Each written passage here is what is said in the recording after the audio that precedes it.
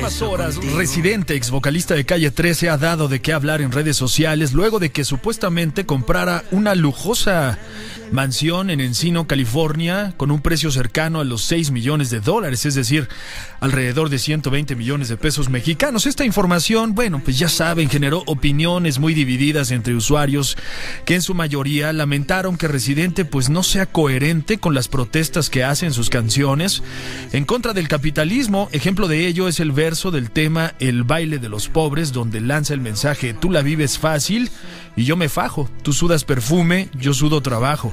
Tú tienes chofer, yo camino a patas, tú comes filete, yo carne de lata.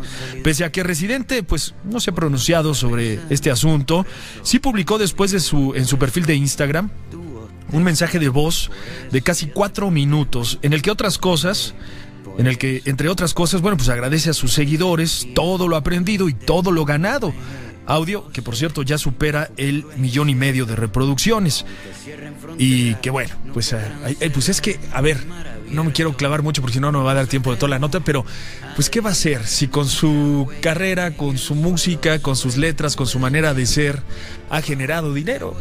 Pues, cuando generas dinero lo gastas, ¿no? Ni modo que, pues, que lo regale, pues va a estar un poco complicado. No dudo que haga asuntos que tienen que ver con la beneficencia y ayude a gente, pero pues el éxito le, le, ha llegado y tiene que ver con su trabajo, con su talento, con este, esta posibilidad de identificarse con su público. En fin, yo no veo por qué critican a la gente por tener, pese a que en sus letras, pues tal vez a sus inicios, porque él viene de muy abajo, pues eh, eh, ondeaba estas banderas, ¿no?